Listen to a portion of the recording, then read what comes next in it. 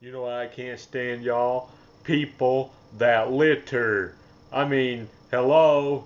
Somebody invented the trash can. Use it for once. I'm half Native American Indian, so when I see my land full of trash, it makes me think white people did it. Mm-hmm. There's trash bags, trash cans, dumpsters, landfills. Use them. You know why?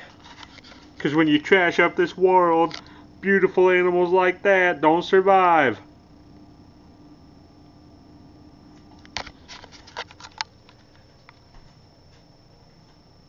Yeah, I'm looking at you. All you litter bugs out there. You know what we do with litter bugs?